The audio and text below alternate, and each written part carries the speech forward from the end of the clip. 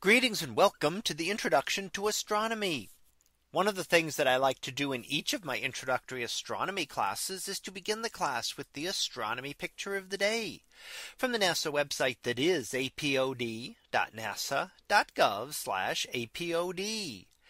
And today's picture for March 20th of 2023. Well, it is titled M1 the expanding Crab Nebula. So what do we see here? Well, this is actually a time lapse covering the period from 2008 to 2022 and looking at the Crab Nebula. Now this was created by taking an image with the identical telescope and camera from the same location each year for that period of time and then putting them together to be able to give us an idea of the expansion that has occurred in this nebula. Now the Crab Nebula is an example of a supernova remnant and was actually observed by astronomers here on Earth nearly a thousand years ago in the year 1054. A new star appeared in the sky at this location. And now we see the remnant of that star expanding outward into space. Now we'll take a look at the uh, video here and we'll look at it on repeat so you can watch it a little bit better. And what you see is that you can definitely see the expansion of the Crab Nebula over that time period from 2008 to 2022.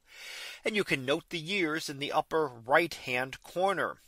Now, especially if you look toward the central portion of the Crab Nebula, you can see a lot of the emission going on around the pulsar at the center.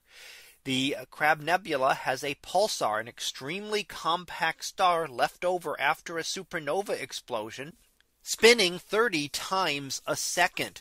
And you can see a lot of that as you watch this on repeat and you can see in detail what is going on there at the center.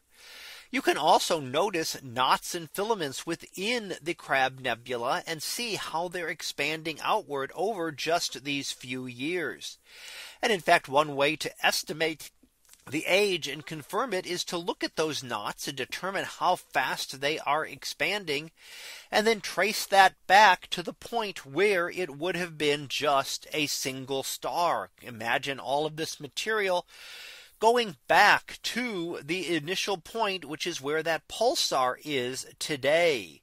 And that would allow you to estimate the age of the Crab Nebula. And you would find out that it's very close to about a thousand years old. So here we get to see the expanding Crab Nebula as seen from 2008 to 2022 as it has been observed with the same telescope and camera over that period of time and then put together in the time lapse that we looked at today.